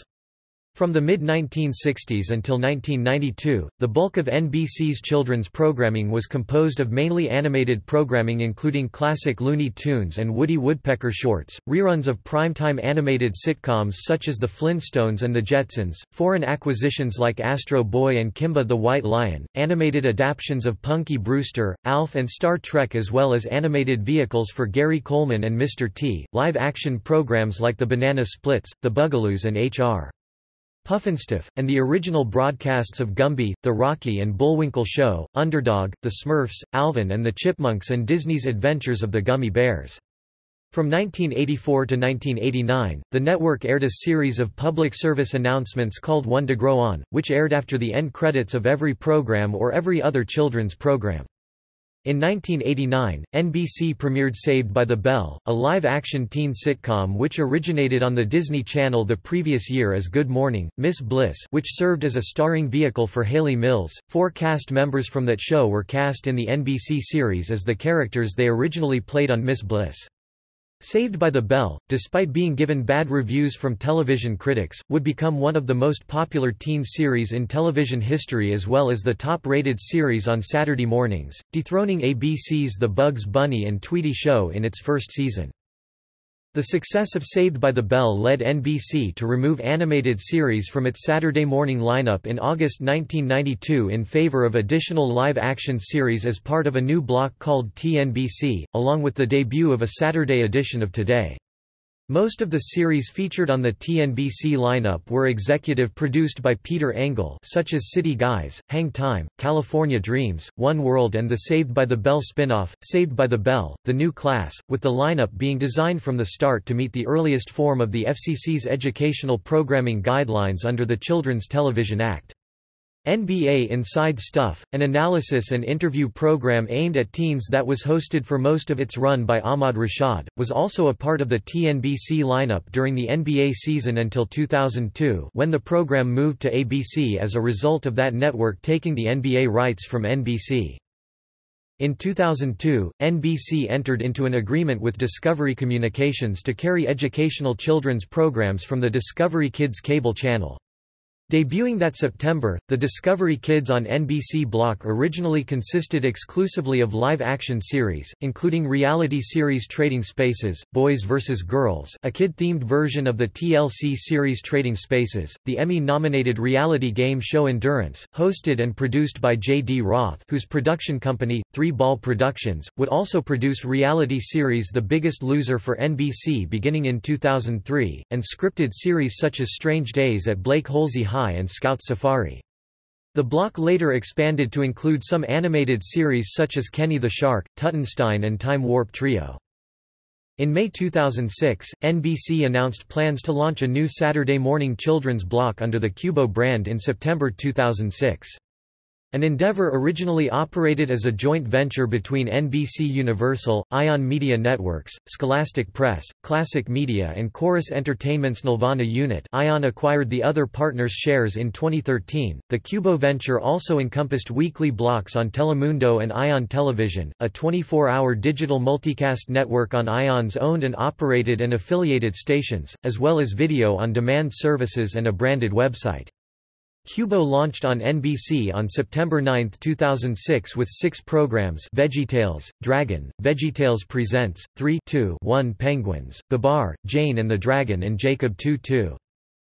On March 28, 2012, it was announced that NBC would launch a new Saturday morning preschool block programmed by Sprout originally jointly owned by NBC Universal, PBS, Sesame Workshop and Apax Partners, with the former acquiring the other's interests later that year. The block, NBC Kids, premiered on July 7, 2012, replacing the Qubo on NBC block. Topic: Specials. NBC holds the broadcast rights to several annual specials and award show telecasts including the Golden Globe Awards and the Emmy Awards which is rotated across all four major networks each year. Since 1952, NBC has served as the official U.S. broadcaster of the Macy's Thanksgiving Day Parade. CBS also carries unauthorized coverage of the Macy's parade as part of the Thanksgiving Day Parade on CBS. However, as NBC holds rights to the parade, it has exclusivity over the broadcast of Broadway and music performances appearing in the parade. CBS airs live performances separate from those seen in the parade as a result, and Macy's chose to reroute the parade in 2012 out of the view of CBS cameras, although it continues to cover the parade. NBC began airing a same-day rebroadcast of the parade telecast in 2009 replacing its annual Thanksgiving afternoon airing of Miracle on 34th Street. In 2007, NBC acquired the rights to the National Dog Show, which airs following the Macy's Thanksgiving Day Parade each year. The network also broadcasts several live-action and animated specials during the Christmas holiday season, including the 2014 debuts How Murray Saved Christmas an animated musical adaptation of the children's book of the same name and Elf, Buddy's Musical Christmas a stop-motion animated special based on the 2003 live-action film Elf. Since 2013, the network has aired live musical adaptations with major stars in lead roles. Originally dismissed as a gimmick, they have proven to be ratings successes, as well as a nostalgic tribute to the early days of television. Past adaptations include The Sound of Music in 2013 starring Carrie Underwood as Maria von Trapp Peter Pan in 2014 starring Allison Williams in the titular role and Christopher Walken as Captain Hook The Wiz in 2015 starring Queen Latifah as the Wiz, Mary J. Blige as the Wicked Witch and Uzo Aduba as the Good Witch Hairspray in 2016 starring Ariana Grande as Penny Pingleton, Jennifer Hudson as Motormouth Maybelle, Kristin Chenoweth as Velma von Tussle and Harvey Fierstein as Edna Turnblad, reprising his role in the original Broadway production.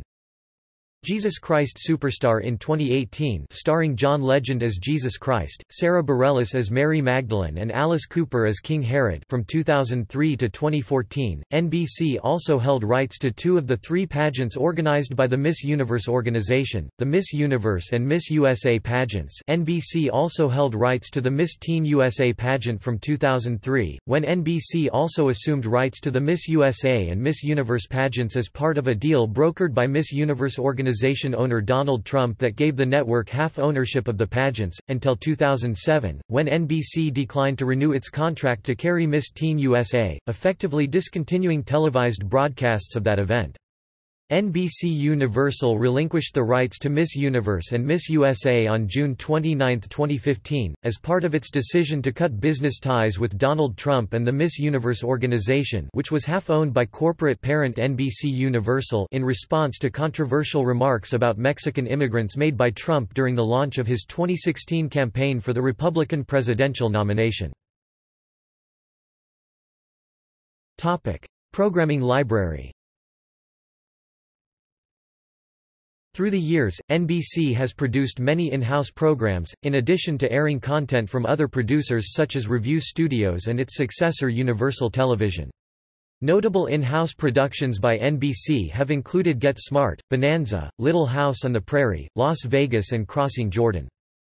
NBC sold the distribution rights to programs it produced prior to that year to National Telefilm Associates in 1973. Those rights are currently owned by CBS Television Distribution, although NBC still owns the copyrights to the episodes.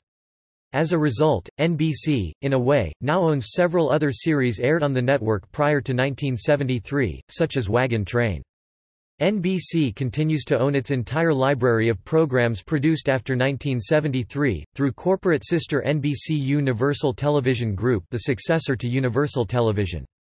Topic stations As of June 2018, NBC has 11 owned and operated stations and current and pending affiliation agreements with 226 additional television stations encompassing 49 states, the District of Columbia, 6 U.S. possessions and 2 non-U.S. territories Aruba and Bermuda. The network has a national reach of 90.05% of all households in the United States or 281,372,474 Americans with at least one television set. Currently, New Jersey is the only U.S. state where NBC does not have a locally licensed affiliate. New Jersey is served by New York City O&O WNBC TV and Philadelphia O&O WCAU. New Jersey formerly had an in-state affiliate in Atlantic City-based WMGM TV, which was affiliated with the network from 1955 to 2014. NBC maintains affiliations with low-power stations broadcasting either in analog or digital in a few smaller markets, such as Binghamton, New York, WBGH-CD, Jackson, Tennessee WNBJ-LD and Juneau, Alaska KATH-LD, that do not have enough full-power stations to support a standalone affiliate. In some markets, these stations also maintain digital simulcasts on a subchannel of a co-owned, co-managed full-power television station. As mentioned with New Hampshire and Boston, NBC operates a low-powered station in Boston, WBTS-LD, which aims to serve as its station in that market while using a network of additional full-power stations to cover the market in full including Merrimack, New Hampshire licensed Telemundo station WNEU, which transmits WBTS on a second subchannel. A WBTS translator, WYCN-CD, is licensed to Nashua, New Hampshire and was purchased by NBC in early 2018 after the FCC Spectrum auction, but transmits a full-power signal under a channel share with the WGBH Educational Foundation and its secondary Boston station WGBX-TV from Needham, Massachusetts. Currently outside of the NBC-owned television stations operated O&O Group, Tegna Media is the largest operator of NBC stations in terms of overall market reach, owning or providing services to 20 NBC affiliates including those in larger markets such as Denver, St. Louis, Seattle and Cleveland. Gray Television is the largest operator of NBC stations by numerical total, owning 23 NBC-affiliated stations. Topic related services Topic Video on demand services NBC provides video on demand access for delayed viewing of the network's programming through various means, including via its website at nbc.com, a traditional VOD service called NBC On Demand available on most traditional cable and IPTV providers, and through content deals with Hulu and Netflix the latter of which carries only catalogued episodes of NBC programs, after losing the right to carry newer episodes of its programs during their current seasons in July 2011. NBC Universal is a part owner of Hulu as part of a consortium that includes, among other parties, the respective parent companies of ABC and Fox, the Walt Disney Company and 21st Century Fox, and has offered full-length episodes of most of NBC's programming through the streaming service which are available for viewing on Hulu's website and mobile app since Hulu launched in private beta testing on October 29, 2007. The most recent episodes of the network's shows are usually made available on NBC.com and Hulu the day after their original broadcast. In addition, NBC Com and certain other partner websites including Hulu provide complete back catalogs of most of its current series as well as a limited selection of episodes of classic series from the NBC Universal Television Distribution Program library, including shows not broadcast by NBC during their original runs including the complete or partial episode catalogs of shows like 30 Rock, The A-Team, Charles in Charge, Emergency, Knight Rider both the original series and the short-lived 2008 reboot, Kojak, My Miami Vice, The Office, Quantum Leap and Simon & Simon. On February 18, 2015, NBC began providing live programming streams of local NBC stations in select markets, which are only available to authenticated subscribers of participating pay television providers. All 11 NBC-owned and operated stations owned by NBC Universal-owned television stations were the first stations to offer streams of their programming on NBC's website and mobile app, with intentions to reach agreements with other station groups to provide streams of NBC-affiliated stations in other markets. Due to restrictions imposed by the league, the network's NFL game telecasts are not permitted to be streamed on the service. Topic NBC HD NBC's master feed is transmitted in 1080i high definition, the native resolution format for NBC Universal's television properties. However, 19 of its affiliates transmit the network's programming in 720p HD, while four others carry the network feed in 480i standard definition either due to technical considerations for affiliates of other major networks that carry NBC programming on a digital subchannel, or because a primary feed NBC affiliate has not yet upgraded their transmission equipment to allow content to be presented in HD. WRAL-TV in Raleigh, North Carolina a station that rejoined NBC in February 2016 is currently testing the upcoming ATSC 3.0 television standard, which will allow the transmission of 2160p ultra-high-definition television UHD, through a secondary experimental station WRAL-X. It has transmitted limited NBC programming in UHD through a secondary subchannel, and is currently the only station overall which transmits NBC's schedule in 1080p on its main subchannel. Meet the Press was the first regular series on a major television network to produce a high-definition broadcast on February 2, 1997, which aired in the format over WHD-TV in Washington, D.C., an experimental television station owned by a consortium of industry groups and stations which launched to allow testing of HD broadcasts and operated until 2002 the program itself continued to be transmitted in 480i standard definition over the NBC network until May 2, 2010, when it became the last NBC News program to convert to HD. NBC officially began its conversion to high definition with the launch of its simulcast feed, NBC HD, on April 26, 1999, when The Tonight Show became the first HD program to air on the NBC network as well as the first regularly scheduled American network program to be produced and transmitted in high definition. The network gradually converted much of its existing programming from standard definition to high definition beginning with the 2002-03 season, with select shows among that season's slate of freshman scripted series being broadcast in HD from their debuts. The network completed its conversion to high definition in September 2012 with the launch of NBC Kids, a new Saturday morning children's block programmed by new partial sister network PBS Kids Sprout, which also became the second Saturday morning children's block with an entirely HD schedule after the ABC syndicated Litton's Weekend Adventure. All of the network's programming has been presented in full HD since then with the exception of certain holiday specials produced prior to 2005 such as its annual broadcast of It's a Wonderful Life, which continue to be presented in 4 to 3 SD, although some have been remastered for HD broadcast. NBCI In 1999, NBC launched NBCI briefly changing its web address to www.nbci.com, a heavily advertised online venture serving as an attempt to launch an Internet portal and homepage.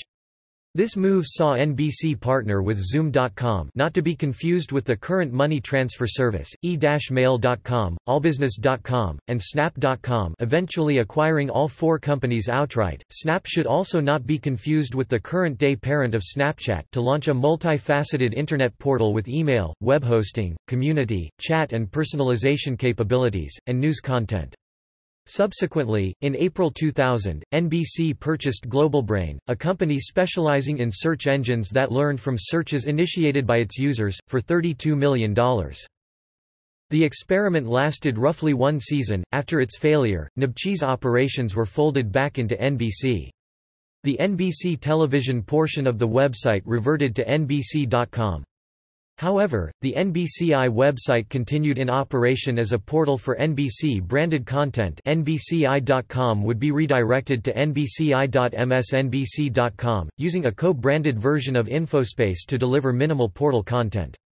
In mid-2007, NBCI.com began to mirror the main NBC.com website. NBCI.com was eventually redirected to the NBC.com domain in 2010. Topic: Evolution of the NBC logo. NBC has used a number of logos throughout its history. Early logos used by the television and radio networks were similar to the logo of its then parent company, RCA. Logos used later in NBC's existence incorporated stylized peacock designs, including the current version that has been in use since 1986. Topic: International broadcasts. Canada NBC network programs can be received throughout most of Canada on cable, satellite and IPTV providers through certain US-based affiliates of the network such as WBTSLD, Boston, King TV, Seattle, KBJR-TV, Duluth, Minnesota, WGRZ, Buffalo, New York and WDIV-TV, Detroit. Some programs carried on these stations are subject to simultaneous substitutions, a practice imposed by the Canadian Radio Television and Telecommunications Commission in which a pay television provider supplants an American station's signal with a feed from a Canadian station, network airing a particular program in the same time slot to protect domestic advertising revenue. Some of these affiliates are also receivable over the air in southern areas of the country located near the Canada-United States border signal coverage was somewhat reduced after the digital television transition in 2009 due to the lower radiated power required to transmit digital signals. Europe and the Middle East NBC no longer exists outside the Americas as a channel in its own right. However, NBC News and MSNBC programs are broadcast for a few hours a day on OSN News, formerly known as Orbit News in Africa and the Middle East. Sister network CNBC Europe also broadcasts occasional breaking news coverage from MSNBC as well as The Tonight Show starring Jimmy Fallon. CNBC Europe also broadcast daily airings of NBC Nightly News at 0.30 Central Europe Time Monday to Fridays. Topic: NBC Super Channel becomes NBC Europe. In 1993, then NBC parent General Electric acquired Super Channel, relaunching the pan-European cable network as NBC Super Channel. In 1996, the channel was renamed NBC Europe, but was, from then on, almost always referred to on air as simply NBC. Most of NBC Europe's prime-time programming was produced in Europe due to rights restrictions associated with U.S. primetime shows. The channel's weekday late-night schedule after 11 p.m. Central European Time, however, featured The Tonight Show, Late Night with Conan O'Brien and later, which the channel's slogan Where the Stars Come Out at Night was based around. Many NBC News programs were broadcast on NBC Europe, including Dateline NBC, Meet the Press and NBC Nightly News, the latter of which was broadcast simultaneously with the initial U.S. telecast. Today was also initially aired live in the afternoons, but was later broadcast instead the following morning on a more than half-day delay. In 1999, NBC Europe ceased broadcasting in most of Europe outside of Germany. The network was concurrently relaunched as a German language technology channel aimed at a younger demographic, with the new series NBC Giga as its flagship program. In 2005, the channel was relaunched again as the free-to-air movie channel Das Vierte which eventually shut down end of 2013 acquired by Disney which replaced it by a German version of Disney Channel. Giga Television was subsequently spun off as a separate digital channel, available on satellite and cable providers in Germany, Austria and Switzerland which shut down as a TV station end of 2009. Topic Latin America Topic Mexico NBC programming is available in Mexico through free-to-air affiliates in markets located within proximity to the Mexico-United States border such as KYMA DT, Yuma, Arizona, KGNS-TV, Laredo, Texas, KTSM, El Paso, Texas, KVEO, Brownsville, Texas, and KNSD, San Diego, whose signals are readily receivable over the air in border areas of northern Mexico.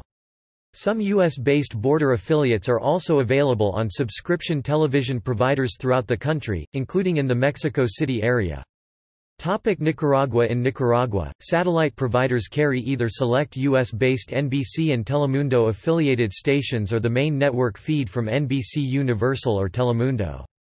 The main local affiliate stations are NBC 6 WTVJ, Telemundo 51 WSCV in Miami. In addition to the NBC programming there is also available by the NBC sister network Telemundo, a Spanish network based in the United States. Topic Canal de Noticias In 1993, NBC launched a 24-hour Spanish-language news channel serving Latin America the second news channel serving that region overall, after Noticias Eco, and the first to broadcast 24 hours a day, Canal de Noticias NBC, which based its news schedule around the «wheel» format conceived at CNN. The channel, which was headquartered in the offices of the NBC News Channel affiliate news service in Charlotte, North Carolina, employed over 50 journalists to produce, write, anchor and provide technical services.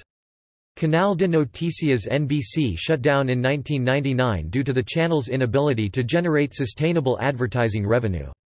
Topic Caribbean In the Caribbean, many subscription providers carry either select U.S.-based NBC-affiliated stations or the main network feed from NBC O&O's WNBC in New York City or WTVJ in Miami. In addition, the network's programming has been available in the U.S. Virgin Islands since 2004 on WVGN-LD in Charlotte-Amalie owned by LKK Group, while Telemundo owned and operated station WKAQ-TV in San Juan, Puerto Rico carries the WNBC feed on a digital subchannel. In these areas, NBC programs are available in English and in Spanish via second audio program. Topic Bahamas In the Bahamas, NBC programming is available via US-based affiliate stations on domestic cable providers.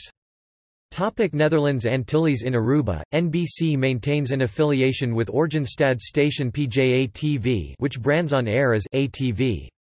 Topic Puerto Rico In Puerto Rico, Telemundo O&O WKAQ-TV carries NBC Puerto Rico over their third subchannel, which is effectively a simulcast of WNBC with some local advertising and station identification. Topic Bermuda Until it ended operations in 2014, NBC's entire program lineup was carried by VSB-TV, using the Eastern Time Zone feed, though an hour ahead due to its location in the Atlantic Time Zone. Bermuda currently receives NBC service from WTVJ Miami via cable. Topic Pacific Topic Guam In Guam, the entire NBC programming lineup is carried by Hagåtña affiliate KUAM TV which has been an NBC affiliate since 1956 via the network's East Coast satellite feed. Entertainment and news programming is broadcast day and date on a one-day tape delay as Guam is on the west side of the international date line for example, the network's Thursday prime-time lineup airs Friday evenings on Guam, and is advertised by the station as airing on the latter night in on-air promotions. Live programming, including breaking news and sporting events, airs as scheduled. Because of the time difference with the six U.S. time zones, live sports coverage often airs on the station early in the morning. KUAM's programming is relayed to the Northern Mariana Islands via satellite station WSZE in Saipan. Topic American Samoa In American Samoa, NBC was affiliated with KKHJ-LP in Pago Pago from 2005 to 2012. Cable television providers on the islands carry the network's programming via Seattle affiliate King TV. Topic Federated States of Micronesia In the Federated States of Micronesia, NBC programming is available on domestic cable providers via Honolulu affiliate KHNL. Topic Asia Topic NBC Asia and CNBC Asia NBC Asia launched in 1994, distributed to Nepal, Japan, Malaysia, South Korea, Taiwan, Thailand, Pakistan and the Philippines. Like NBC Europe, NBC Asia featured most of NBC's news programs as well as The Tonight Show, Late Night and Saturday Night Live. Like its European counterpart, it was not allowed to broadcast American-produced primetime shows due to existing broadcast agreements with other domestic broadcasters.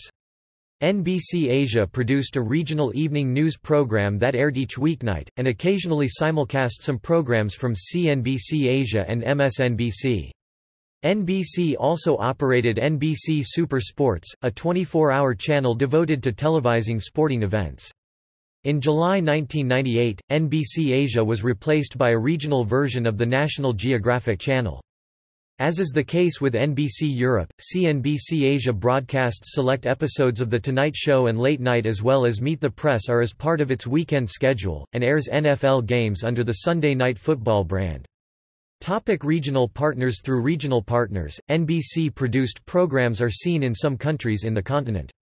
In the Philippines, Jack TV owned by Solar Entertainment airs Will and Grace and Saturday Night Live, while Talk TV airs The Tonight Show and NBC News programs including the weekday and weekend editions of Today, Early Today, Dateline NBC and NBC Nightly News. Solar TV formerly broadcast The Jay Leno Show from 2009 to 2010. In Hong Kong, English-language free-to-air channel TVB Pearl operated by TVB airs live broadcasts of NBC Nightly News, as well as other select NBC programs. Topic Australia In Australia, the Seven Network has maintained close ties with NBC and has used a majority of the U.S. network's image campaigns and slogans since the 1970s conversely, in 2009, NBC and Seven both used the Guy Sebastian single Like It Like That in image promos for their respective summer schedules. The network's 7 News division has used John Williams composed The Mission the proprietary theme music for NBC News flagship programs since 1985 as the theme music for its local and national news programs since the mid-1980s. Local newscasts were also titled 7 Nightly News from the mid-1980s until c. 2000. NBC News and 7 News often share news resources, with the former division using 7's reporters for breaking news coverage and select taped story packages relating to Australian stories and the latter sometimes incorporating NBC News reports into its national bulletins. Seven also rebroadcasts some of NBC's news and current affairs programming during the early morning hours usually from 3 o'clock to 5 a.m. local time, including the weekday and weekend editions of Today which it brands as NBC Today to differentiate it from the unrelated morning program on the 9 network, Dateline NBC and Meet the Press. Topic criticism and controversies Topic Presidents of NBC Entertainment Topic See also Lists of NBC television affiliates List of NBC personalities NBC Pages Olympics on NBC CBS PBS Topic References Topic Further reading Hilmes, Michelle 2007. NBC, America's Network. University of California Press. ISBN 9780520250819. Robinson, Mark 2002. Brought to you in living color, 75 Years of Great Moments in Television and Radio from NBC. Wiley. External links Official website Official history and milestones for NBC Universal Museum of Broadcast Communications – NBC History NBC logo creation history